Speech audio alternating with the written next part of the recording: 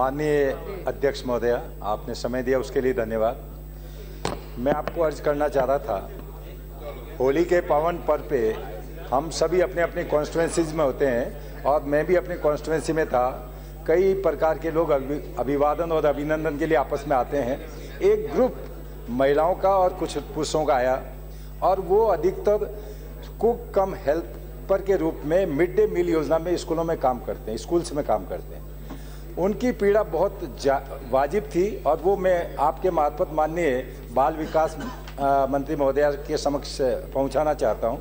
उनकी पीड़ा ये है कि वो 11 बजे से लगा के 4 बजे तक स्कूल में 25 बच्चों पे एक और 25 से 100 तक दो।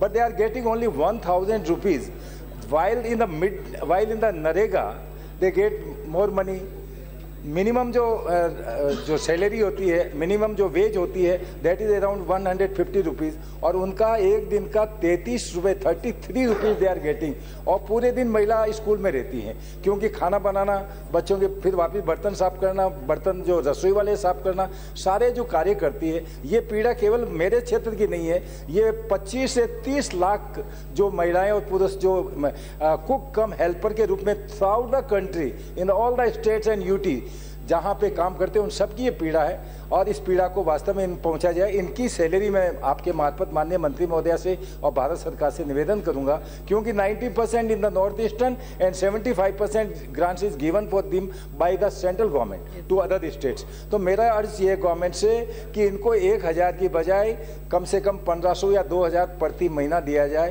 ताकि ये लोग कुछ अच्छा ढंग से काम करें। और अदरवाइज़ ये क्या करते हैं कि उस जो सामग्री है, उसी में से कुछ मसाला निकालने की कोशिश करेंगे। तिल तो तेलों में से तेल तो तिलों में से निकलता है यदि हम इस पर। धन्यवाद। इसमें मैडम मैं